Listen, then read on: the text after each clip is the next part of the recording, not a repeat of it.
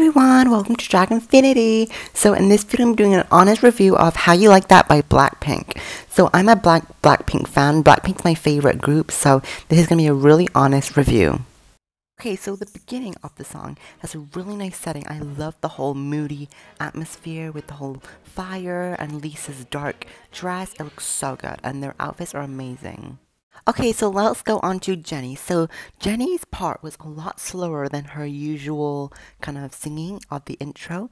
Um, cause like Duru was like Jacken Ore Guri or quite aggressive, and same with Kill This Love, like Johnson Gatton High, very aggressive. But this was a lot slower, which I wasn't as impressed with. But it's fine. I love the visuals though. So with Jisoo, her singing was amazing. She has a really nice breathy, like dark voice and I love the whole set and the whole atmosphere of it. So Rosie's voice was really nice and bright and like quite powerful like usual and I really like her makeup. It's like very minimal and her hair is really nice. I love the whole color of it. Okay, let's go into the dancing. I love the dancing so much. So I really like the whole kind of like the flow of it. It's very edgy, very nice, very pop.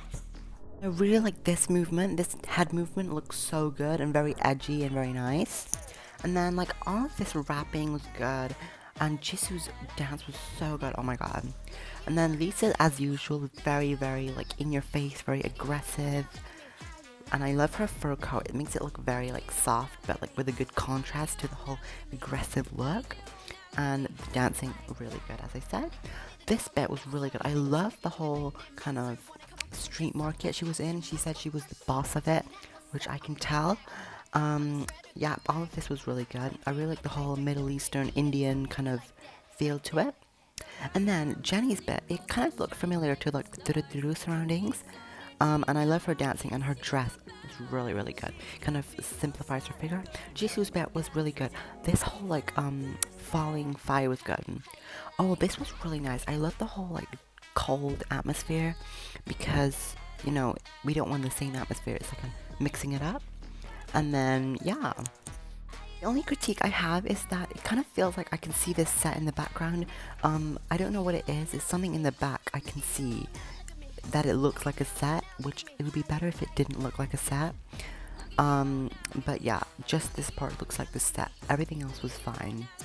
And I like how this bit, um, yeah, here it actually goes back to the beginning, like the whole same set at the beginning.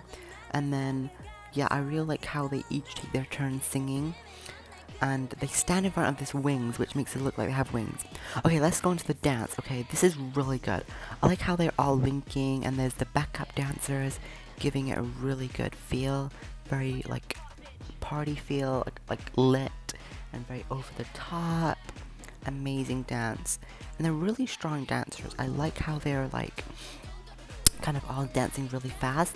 The dance is very fast. It's not like slow or easy. It's quite hard. And they're on the floor, which is similar to the Boombayah. And yeah, it looks really good and I like how they all finish at the end. So yeah, I hope you enjoy this review. Make sure you like, comment, subscribe, and I'll see you next video. Bye y'all!